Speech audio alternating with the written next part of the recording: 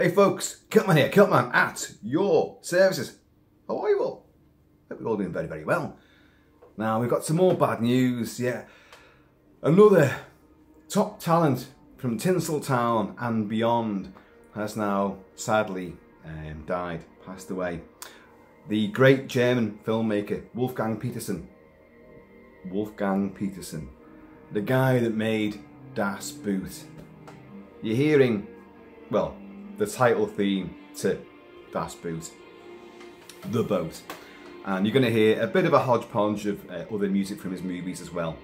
Sadly, I've not, I've got music from all of his films, but I've not got them on this system, so just make do. But at the age of 81, uh, he passed away. Now, he passed away on Friday, on the 12th of August. It is now the 17th of August, but we only got word of this uh, in the wee small hours. And um, so I, I, woke up to that. That I often wake up to people messaging me saying, "Do you know who's died?" and and the weird thing is, um, it's never someone that you know I'm related to. It's not like, "Do you know who's died?" Oh, so from down the road. It's never it's never that. It's always somebody from the movies. Because people know that I do these little obituaries and that, like, and tributes to certain people. And so I woke up to, to that. Wolfgang Petersen's dead. Oh, oh Jesus.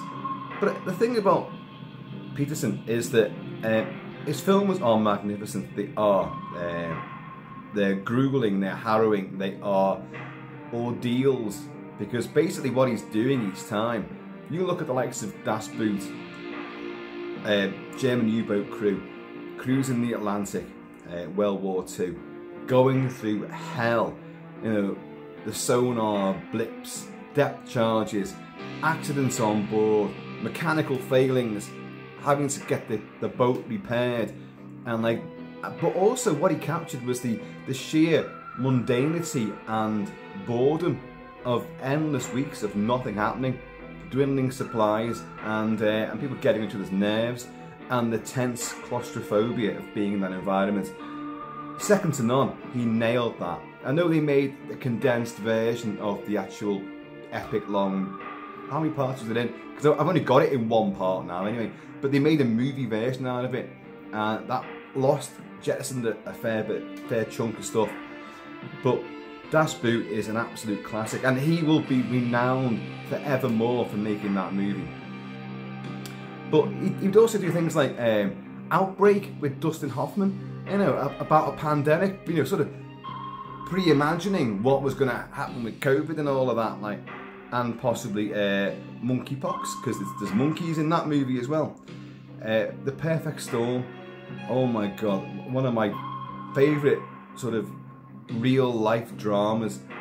And he, he, George Clooney, uh, Mark Wahlberg, William Fichtner, um, John C. McGinley aboard the Andrea Gail, the true story of what happened 1993 uh, when the Perfect Storm hit oh my god, you know, three weather fronts hit, collided, caused bedlam. An absolutely magnificent movie. I love it. I've covered it a bit on the channel actually, uh, and I need to probably cover it some more. But that, uh, Das Boot, Outbreak, uh, he did the film Enemy Mine with Dennis Quaid and Louis Gossett Jr., which was like a kind of um, space age reworking of Robinson Crusoe also Robin, Robinson Crusoe on Mars, and also the film, I think it was called Jewel in the Sun, where um, an American and a Japanese uh, opposed, you know, um, heroes of war find themselves cut off on an island and uh, during the Second World War, and have to have to team up to survive. And this was the, the basis of Enemy Mine, and that was a wonderfully visual movie. Wolfgang Petersen was an incredibly visual storyteller uh, but also, Troy. Oh my God, Troy. Now, we've already mentioned some of the people he's worked with. In Das Boot, you'd have um, Jürgen Prochnow, who's an unbelievably good actor. Air Force One, Harrison Ford, and um, oh God, Gary Oldman. Poseidon, King Kurt Russell. But we'll come on to Poseidon later. Um, Outbreak, Dustin Hoffman, of course. What else did we have? Uh, Enemy Mine, Dennis Quaid, Louis, Louis Gossett Jr. In Line of Fire, Clint Eastwood and John Malkovich. And Air Force One, Harrison Ford, I said that, didn't I? But Troy, look at Troy. Brad Pitt, Eric Bana, Peter O'Toole, um, oh God, Brendan Brendan Gleeson, and uh, Brian Cox, and uh, Sean Bean. God, the, the greatest collective of, of, of superstars of that time. All great character actors, all great um, superstars, you know, in their own right, and with many, many movies, you know, in their resume all bringing their own unique talents to a huge large scale ensemble movie which is epic in scale, epic in scope and Wolfgang Petersen was one of the masters at marshalling huge amounts of people and technicians and pioneering great sort of on, on set special effects. You know, look at Das Boot, how, how they made that set for the, uh, the U-boat, which, there it is, U-96 and uh, it's up here as well. There it is, snaking past um, this sort of slimy Lovecraftian demon. Um, but Poseidon again with Kurt Russell, an updating of the original 70s the Poseidon Adventure, and then you had Beyond the Poseidon Adventure, which are classics in their own right. The critics mauled Poseidon, his remake, and he freely admitted that it wasn't the best of his movies, uh, but it's it's great good fun. You've got King Kurt in there and endless little set piece scenarios that you've got to overcome. A big luxury ocean liner gets overturned by a huge wave and they're going to go through all these various scrapes and adventures. People will die in the process, like. But the perfect storm was the perfect amalgamation of all this. George Clooney, Mark Wahlberg, as I said before, and the true story, the, the, the nightmarish scenario they find themselves in going further out into the sea, knowing the storm's on the way, but they've been leaned on by the, the Fishery Commission, you know, uh, which is unbelievable. It's Michael Ironside. Michael Ironside, yes, he's in there as well. Unbelievable. And uh, they've got to go out. They've got to put, they've got to bring money back. They've got to put food on the table. A lot of fish, obviously. And uh, it's a wonderful uh, movie because it, it pioneered putting that ship on gimbals and in the, the big what Californian oceanic pool that they use for movies like this or I think they built it for this movie actually and absolutely so much water was used well you've got to simulate the sea and a, and fucking big waves and like the poster image I had the poster before this video I ran around trying to find uh, Wolfgang Petersen uh, memorabilia posters. Uh, my Troy Director's Cut poster, can't find it. Uh, my Poseidon poster, can't find it. Um, and my Perfect Storm poster, can't find any of them. The spook in this house has been up to its old tricks again. Anyway, uh, but he worked with water so much. Obviously, cutting his teeth with Das Boot, it really, really is incredible. Uh, as I say, claustrophobic entertainment. And the, the thing about that movie is that it, highlights you know the banality, the day-to-day humdrum of it, and the, the tensions rising. And the thing is, but you sit there mesmerised. We're playing some of this music now. You sit there completely and utterly entranced by this environment and how people interact. Even when there's just silence there and there's sweat dripping off someone, it works. You're actually there. He's transported you from your seat in the cinema, on your armchair, on the settee, lying on the floor, in bed, wherever you are. He's put you on that submarine. He's put you there. There's not that many filmmakers, even you, you know, Spielberg can do it, but not all the time. You know, Kubrick put you in the Overlook Hotel, but you know, with Paths of Glory, did he actually put you in the trenches there? Well, I would say no. Um, and other other great celebrity filmmakers don't always achieve what they want to they want to do. But Petersen, with all of his movies, put you there, even in a fant- fantastical environment of Enemy Mine. And you knew it was going to come on to this never ending story. Not one of my favourite movies, I'll be honest. Um, but that's not at Petersen's fault. it's just, it's not a very engrossing story. I know, I know, it's a massive cult classic, and it, it has got the title song, Never Ending Story, Limahl, which I absolutely genuinely adore that song. And if we can get away with it, I'm going to play it as well. Here's the perfect storm now. This is the, um, the what's it called? Coast Guard Rescue, James Horner. And he, he worked with Jerry Goldsmith on Air Force One. Oh my God, Air Force One is a great. The presidents, what, the cinematic presidents don't half go through some, some shit, don't they? You know, and uh, unless you've got Gerard Butler there to save you, then your president better be Harrison Ford, because he, the cat and mouse game on Air Force One, when it gets taken over by terrorists, is great stuff. And again, Petersen could do action. He could do tense standoffs and suspense. And of course, he could do great big battles as well. Troy. I was getting on to Troy before, and then I, I sidelined myself. Uh, but Troy's one of my favourite movies. Uh, it's a, it's OTT. It's it's it brings in mythology as well, and it but it condenses. What I don't like about it is it condenses the uh, you know the ten year war for Troy itself. Ten years, ten years, folks and the uh, the entire odyssey that um, Odysseus goes on. Um, but it brings in all of the, um, it, it, does bring in elements of the gods and it does bring in the, the whole myth surrounding Achilles. Brad Pitt as Achilles, fucking hell.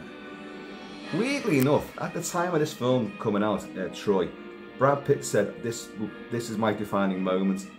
Brad Pitt said that about basically a mythological comic book character um, he is wonderful in the role, and he does bring a lot of emotion. But he breaks down from a realization about he's lost his, his Patroclus, you know, his, his, his cousin. Um, and then he's killed and abused the body of Eric Bana's uh, heroic uh, Trojan warrior Hector. But Peter O'Toole, as the king of Troy, uh, Priam, disguises himself and inveigles himself into the um, the Greek camp to, to meet Achilles and to um, break bread with him basically and uh, and to you know say about his son please give my son back and he he literally breaks uh, the stalwart hero that is Achilles he breaks his heart in that moment and Achilles realizes oh god what have I done? You know I'm, I'm better than this. You know and of course your funeral rites I'm, I'm you're a, you're a better king than the one that leads this army. Great lines. There's some great lines in it. Now, Troy, of course, uh, as you will know, there's two versions. There's the theatrical cut, which is hmm, tepid and very Hollywood. And then you've got the actual director's cut, Wolfgang Petersen's cut, which goes on for a hell of a lot longer and is infinitely nastier. And it, it's raw, it's bitter, it's it's seething with genocidal verve and you know unbelievable, horribly uh, misbegotten hatred, and it, it, it's a much more difficult film to to, uh, to watch because of the the barbarity that takes place. But that's the one that works, and it's a wonderful, wonderful movie. So I urge you to watch Troy if you haven't seen it already, uh, and to watch the the full extended director's cut, which is infinitely superior to any theatrical version. And again, Wolfgang Petersen could marshal enormous amounts of people. Okay, there was CGI in there to extend numbers, but he had hundreds and hundreds of people there charging and battling all the time. Welters of gore and really superbly staged and choreographed action set pieces. And it, it is wonderful. It's, it's breathtaking. Uh, and it does culminate, of course, in a very sort of tragic, romantic sort of uh, climax and finale. But it's I think it still works. It is terrific to see, uh, you know, how Achilles gets taken down. And it's what his mother basically said, you know, don't go into this battle because you, you want your name to live forever, but this battle will ensure that, but you won't come out of it. It's as simple as that. And it, it's, it's a truly great movie in many, many ways. It's as a spectacle, as a story, as a adaptation of Homer's, um, you know, telling of the story itself. It, it, it works wonders, and I don't think it gets the recognition it deserves. I've covered it on the channel a lot, but uh, it doesn't get. It, it, did well at the time, but uh, people don't ever talk about it. They kind of dismiss it. A lot of the movies that came out in the uh, sort of uh, the tailwind of Gladiator, when Gladiator brought back the sword and sandal epics. Ridley Scott, Russell Crowe, and I love Gladiator. Uh, but you've got the likes of, uh, well, what would you have? King Arthur, which I've covered. This is the Clive Owen version. Uh, and I love that movie. It's, it's great. It's cheeseball, but it's great at the same time. I've covered it a lot. Um, Kingdom of Heaven again from Ridley Scott. And again, you've got to watch the extended cut. If you watch the theatrical version, it's a broken, ridiculous, crap, crass movie. Watch the full extended cut. It's it's a brilliant movie. It's absolutely brilliant. Uh, and I say, I say the same with Troy, but Troy came in at that sort of tail end when a lot of movies were getting made, a lot of swords and shields and you know daring do on the beaches and sandals and that kind of stuff. Uh, but Troy's one of the best that's out there, beyond any shadow of a doubt. Uh, so what else would he do? Uh, well, as I say, in the line of fire, you know, with uh, Clint Eastwood and John Malkovich. Clint Eastwood is the aging um, Secret Service guy, knows there's a hitman out there trying to take down the president, and the cat and mouse game he's playing with John Malkovich. And it's it's a wonderfully tense movie. Now, what he doesn't do, what Wolfgang Petersen doesn't do with that movie is have massive, elaborate set piece, you know, action skirmishes. There's action in it, there is, you know, a, a few set twos and, you know, suspense-filled moments when uh, the killer's on the loose and there's a couple of chases in it, obviously. But it, it reins all that back in and it kind of brings back the sort of the tense internal battles and claustrophobia that was clearly in evidence in Das Boot, which is wonderful. Um, Outbreak. Now, the weird thing about Outbreak is I remember loving this. Now, you know, I hadn't seen the film since it first came out, but I remember thinking, Jesus, there's a lot, there's a lot going on in this movie. Loads of helicopter stuff, loads of action, there's loads of you know tense situations that our characters find themselves in, and a race against time. I remember being really excited by it. I think this is really, this is a much better film than I anticipated, and um, I'll get it again. I really have. Don't think I've even got a copy of it, which is bizarre. You know, I might do. I might have. I've got most films, you know, ever made, but uh, it's finding them. That's the thing. No, I've got a feeling I haven't actually got a copy of, of Outbreak, but I will rectify that though. Now, as I say, Petersen would do historical, wartime, action, adventure, sci-fi, fantasy. He pretty much applied his hand to anything, any genre out there. Not never ending story. As I said before, I'm not the biggest fan of it. I just don't think the story holds together. It got a sequel out of it, and it did get a great song. Uh, and visually, it's splendid. So again, he could command, as I said before, just a visual storyteller. He was wonderful at evoking um, times, periods, eras, uh, situations, the confines of a, a U-boat, a fantastical world of mud and trees and flying dragons with big sad doggy eyes and um, and obviously battles on you know uh, mythological beaches huge large scale dramas and putting it on board again the claustrophobic confines of a, fish, a fishing vessel going out into the perfect storm. And you know that that film that's an amazing film. I know now when you watch it there's, there's a fair bit of quite obvious CG in it, but you know, a lot of the practical effects that we used, you've got the you've got the, the Andrea Gail, the fishing vessel that they, they were on, and they're climbing all over the, you know the masts and all over the uh, the cabin and all all on top of, around and underneath and inside that that vessel. Despite you know, and, and, and the whole thing's on a gimbal, being rocked back and forth simulating these huge, tumultuous waves which are buffeting it from all sides. And it's genuinely exciting. And it's genuinely tragic as well. Uh, but love it. It's a tremendous uh, evocation of a, true life event. But, you know, just going through the list again. Troy is incredible. Um, as I say, Das Boot is the one that's he will be forever remembered for forever. It's just an incredible movie. And in fact, that's what I'm going to watch. I haven't seen uh, Das Boot for quite some time actually. I know it very well, but it's you've got to sit and watch it to soak yourself in that environment, to put yourself there, and the, you, will be sweating, you'll be tension, you'll be white knuckling as well. But even as I say, the downtime, the endless downtime, the sense of humour, the, the gallows humour that runs through it as well, and the finale, you know, which is just incredible. Uh, it blows you away, and literally, it, it blows you away. Here's some more of uh, James Horner's score for The Perfect Storm. So he worked with James Horner a couple of times, so on, uh, obviously on this, Perfect Storm, and on Troy as well. But Troy, uh, originally a different score by uh, Gabriel Yared, uh, which was thrown out, uh, rejected. Uh, I think because the film itself changed, not because they didn't like the score itself. I think it was purely because the, the film itself was going through different cuts. This all happens a lot, happens a hell of a lot. And it's, it's, deeply unfortunate. And one of the main uh, composers that always seemed to suffer this would be Jerry Goldsmith. And he'd work with Jerry Goldsmith, of course, on Air Force One, which is a fabulous score.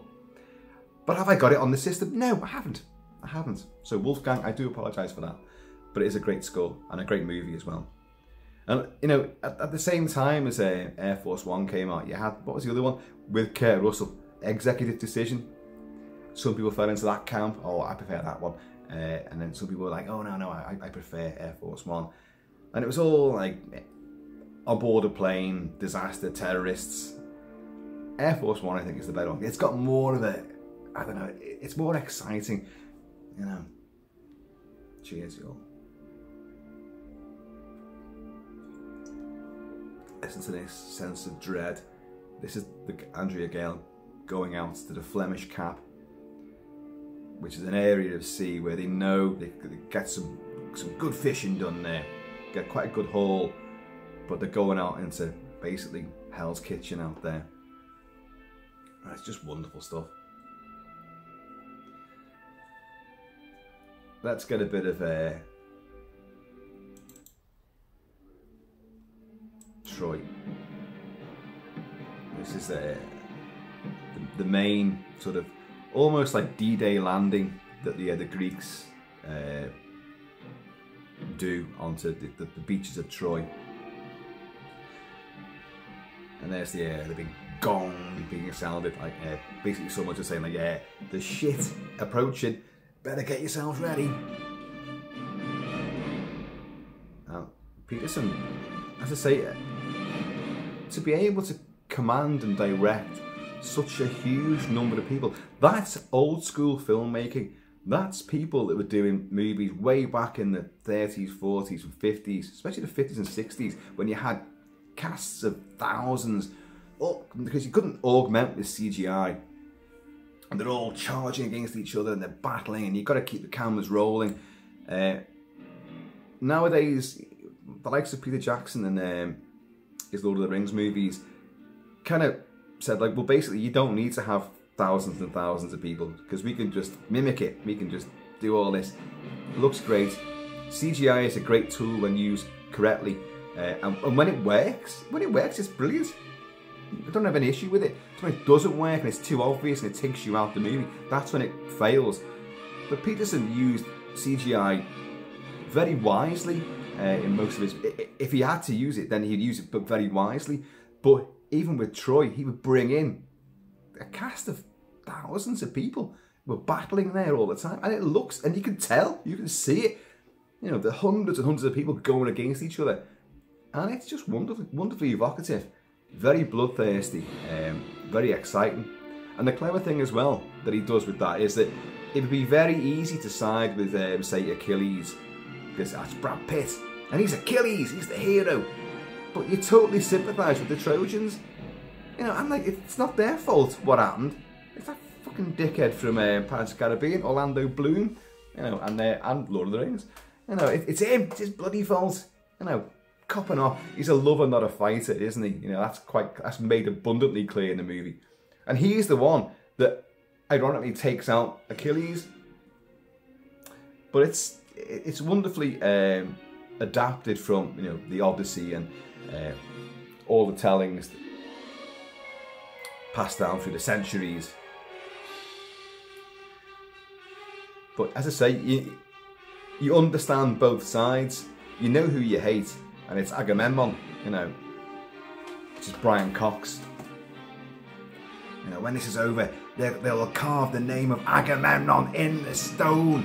Your name is written in the sand, be washed away. His constant sparring with Achilles, it's brilliant. And Brad Pitt's amazing in those sequences. It's just like, you know, his insults, his snidey comments to what's meant to be his king. You know, you're no king of mine. I don't, I don't follow a king, I don't follow you. I'm here for glory. Yes, want to make your name last forever. Yeah. But you've got like scenery chewing Brendan Gleeson as well in there. He was in Braveheart again. Braveheart was a film back in the early 90s that, or mid, was it mid 90s now? That sort of spearheaded what could have been an, another, you know, epic old school historical action movies. And you will get you will get a few. You, you get Rob Roy, which is actually uh, to be very honest, Rob Roy's a, a better told story, uh, a better adaptation of what really happened than what Braveheart is. I love Braveheart, don't get me wrong. Braveheart, William Wallace, Mel Gibson, fantastic. But you'd get Brendan Gleeson would be in there. And Brian Cox would be in Rob Roy. And the two of them would meet in Troy. They're time travellers. Listen to this.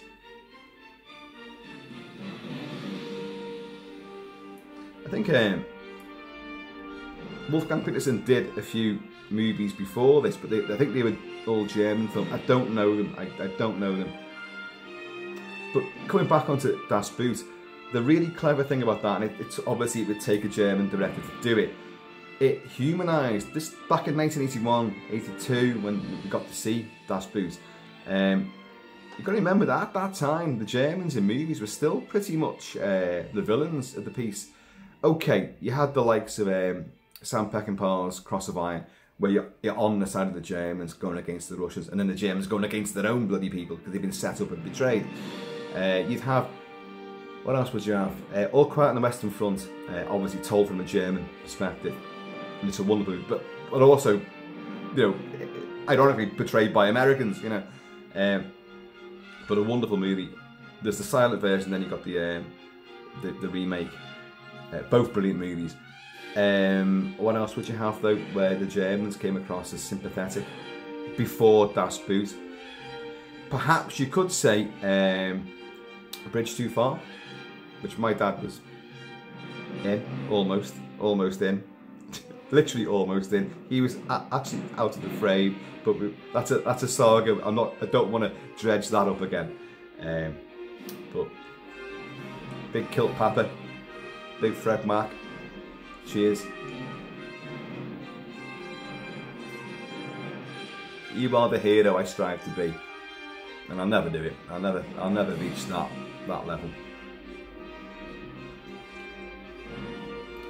But uh, but Bridge Too Far did, although we're on the side of the Allies, obviously, um, and the whole Arnhem campaign, Operation Market Garden, you still you still understand the Germans as well. You still feel for them. Of course you do. They're all in a conflict together. There's no evil. The overriding Nazi uh, regime was evil, of course. But the the Wehrmacht uh, German army, yeah, and even the guys, the SS and the, the, Panzers that are in there, the Panzer crews, they're just doing their job. And, and, and they are shown to be human. But it did take Das Boot to completely make people of the Allied countries, the NATO countries, um, suddenly see things from a German perspective. And because you're with that crew, you're on board that sub. And when you know the um, the hunter killers are out after the um, the wolf pack and all that, then you feel for them because you're you're on there, you're on that on that boat, not ship. Sorry, let's get that right. It's a boat, not a ship. You're on board that boat, and you're getting depth charges, and you're getting attacked, and you're with them. You want to survive. And when they get a victory over the Allies, which is so bizarre, you're cheering. Where's that from? Wolfgang Petersen puts you in that environment, puts you in their boots, and like you're fighting alongside them. So it doesn't really matter. If, if storytelling um, shouldn't matter. There's there's no politics. There's no morals. There's no right or wrong uh, with storytelling. If storytelling is done correctly, you can you can view things from the, the completely evil uh, and the the other side of the tracks, and sympathise and understand. That's clever. That's genius. That's how it should work. And Petersen could do that. You know. Again, Troy is a huge example of that, where you're seeing things from both points of view, and you're totally invested in both sides. You may have, oh, I, Eric Bana's my man, you know. No, it was, all, it was always Achilles. Achilles is the one, but Bana puts up a hell of a fight there, you know. One of the, one of the, the best choreographed uh, and long fight sequences between two combatants, uh, two actors that are trained incessantly, relentlessly to do it, and and Petersen's direction. It's fantastic that duel, and it's terribly sad as well. Uh, but you understand why um, Achilles is so friggin' nasty and condescending and gnarly with with, with uh, Hector, and Hector saying like, "I I thought I was fighting you. He wore your armor. He looked like you, you know." And what what does um, Achilles say? He's killed Patroclus, and it's the rage of killing his own his, his cousin that's consumed Achilles. And Achilles just says like, uh, "What was it? You know, by the end of today, you'll you'll have no ears, you'll have no eyes, you'll have no tongue." And when you uh, when you're in the underworld, all the dead will know that here's the fool that thought he killed Achilles. It's just, and he basically does that to him as well. and then Peter O'Toole, and Peter O'Toole at this stage, to get that performance out of Peter O'Toole, who is hamming it up, he is hamming it up, but there is an earnest old school theatricality to his performance, which actually works in the movie. And it's like Petersen understood look, we've got you in, you're a big star name, and you're at the right age now to be playing King uh, Priam.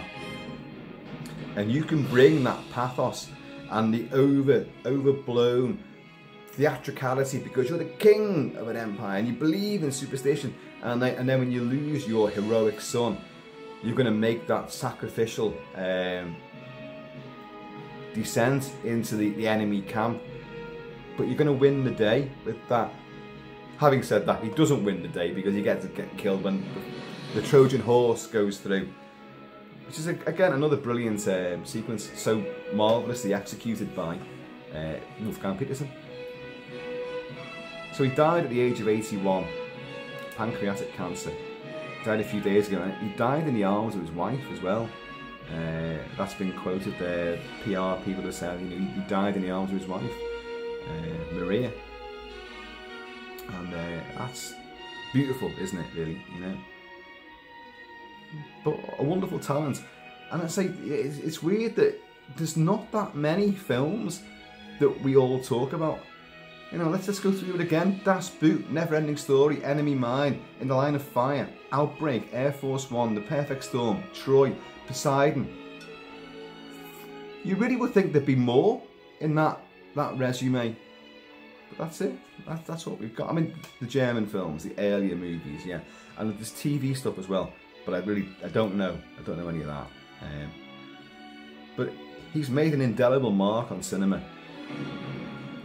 You know, Das Boot, I said, keep on coming back to it as we always will come back to Das Boot. It's one of the, the greatest uh, wartime stories, one of the greatest tellings of men men in conflict and how how they deal with it. You know, the heightened realism, the uh, the suspense, it, it's skin prickling. You sweat watching it. You also get cold watching it as well. I don't know anyone the frozen Atlantic, you know, ice cold waters, and the tense atmosphere of being aboard a vessel where it's combustible. The whole thing could go up at any time. Not, but not only that, you know, even the crewmen could go up at any time. but there is that Germanic sense of humour as well. Because the Germans have got a sense of humour. They fucking well have. Look at them pissing all over the uh, the officers' cars. I know. They're big. They're doing the, a penile piss rife salute, and it's just when it comes down to it, uh, men in in an army, a navy, uh, whatever contingent, platoon, battalion, you know, that there's camaraderie. You know, there's a unif- unified solidarity between men like that, and uh, so they will do things like this, and you know, it, it's, uh, it's brilliantly um, evoked. Cheers, y'all. And although I'm not the biggest fan of this movie, we are going to have to end on a never-ending story. Limahl from Kajagoogoo. Weirdly, back in the 80s, what was it, 84 this come out? Was it? I was a massive fan of this song. My mates were all into like rock and uh, a lot of uh, a lot of my mates were mods as well. Like so, you had endless retreads of the Jam and the Who and all that, but you had Style Council.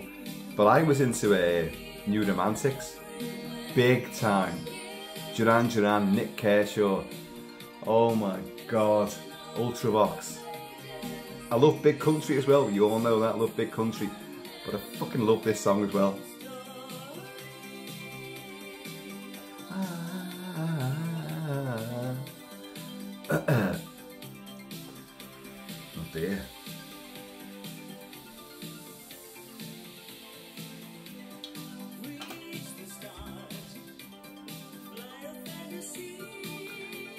Watch how this video gets blocked because of this. Well, I say watch, but if it gets blocked, you won't be watching it.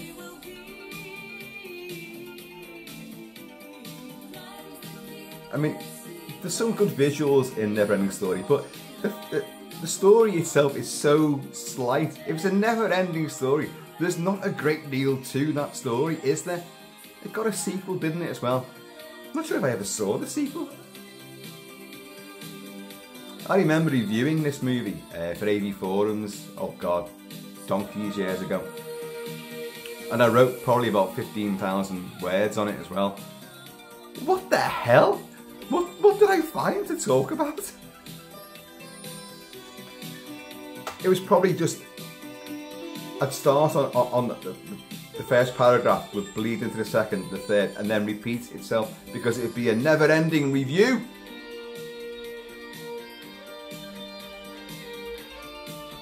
Sun's just come out. After all the heat wave we've had, which I've been describing, uh, it, it went all clammy and dull the last couple of days. Sun's just come out. Wolfgang, rest in peace.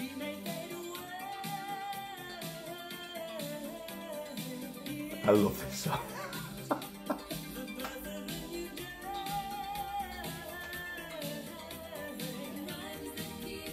I'm not sure who the girl is that is singing it with him. I say it's Limahl.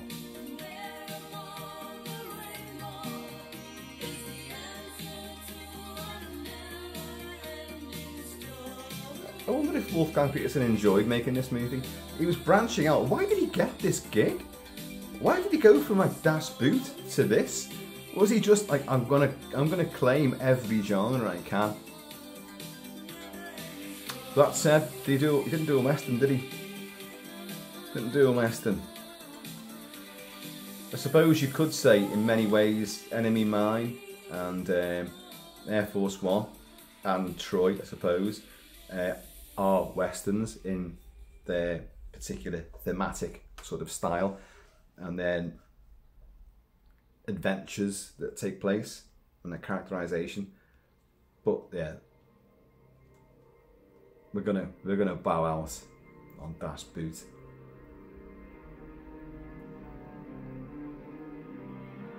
Klaus Doldinger.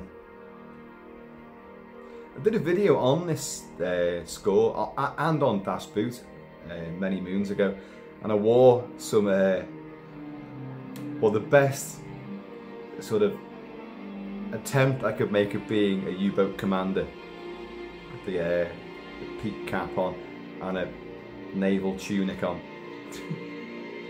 and a pair of Rocky Balboa shorts, if I remember rightly. You'd have to watch the video to work out why that why that was going on.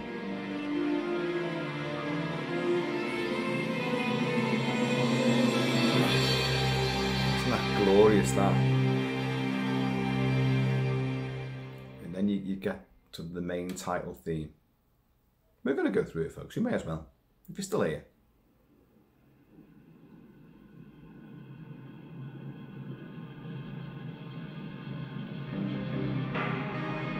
Because look, it was the Dash was groundbreaking as well because it had like a very sort of electronic soundtrack. So it, it wasn't the norm at the time. But German stuff, you know, Germans and electronic music, trio, you know, da da da, uh, Kraftwerk, many many bands. That is gorgeous. That. It's the way it sort of just, hits that boom, and reverberates.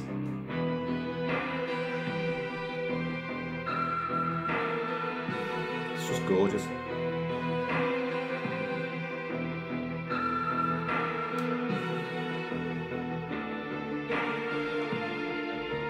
And I mean, it simulates the uh, the sonar as well. It's just, yeah, so clever.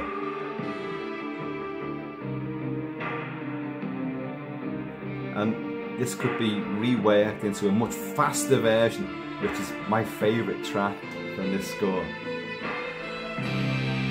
It's just that boing when it buzzes. It's almost like you're, you're on board, you know, the sub, the U-boat, and like someone clangs a, a spanner down the front of it and it just reverberates all the way down, you know.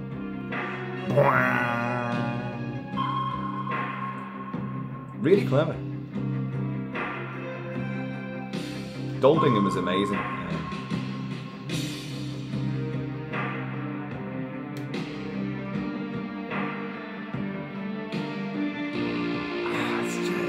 so achingly gorgeous.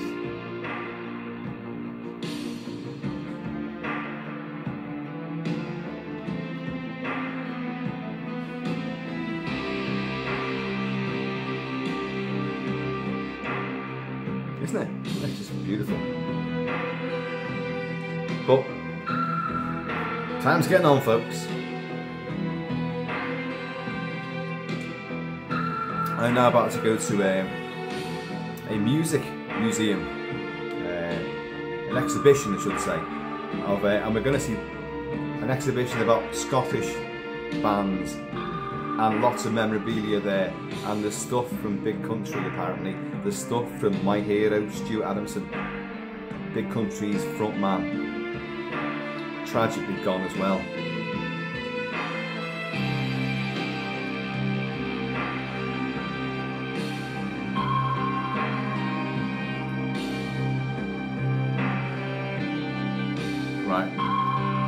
my favourite track from um, Doldinger's score for Das Boot.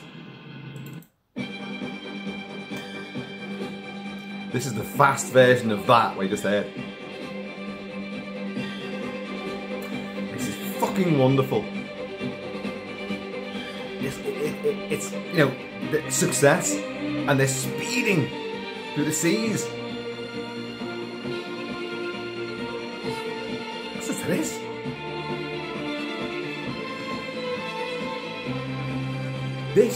Actually evokes the high seas and the you know the age of sail, and like the wind, but they're underwater, you know.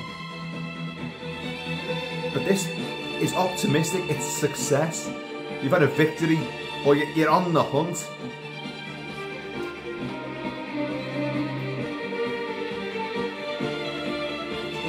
it rises. Instead of like boom, it's it's going up. Up periscope.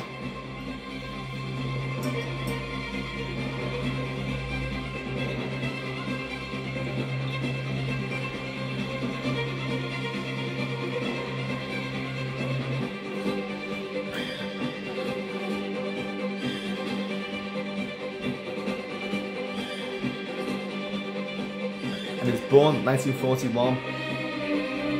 Wolfgang Petersen.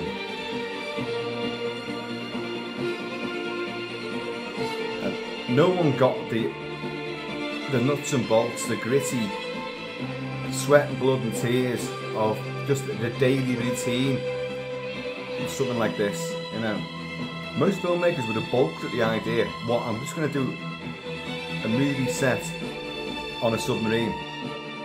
Well, what can I do with that? You're stuck. Where can I put the cameras? How can I have any action? What, what, what kind of drama can I tell? Wolfgang Petersen nailed it.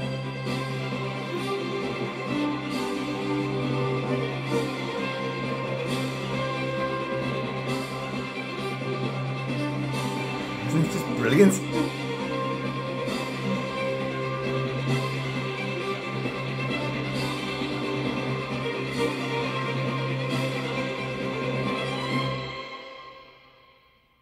Cheers, folks.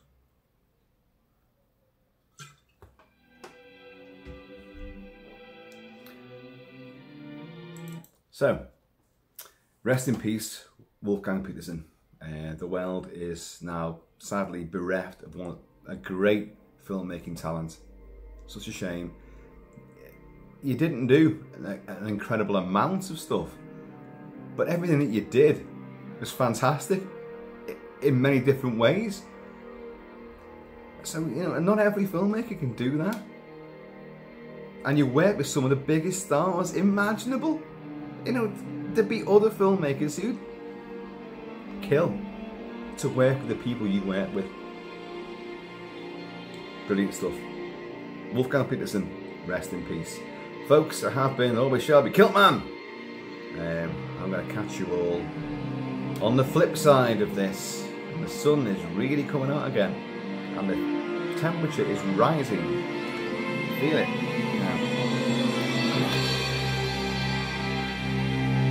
It's just great, isn't it? Please keep it Celtic, keep it Celtic, and I'm going to see you all later.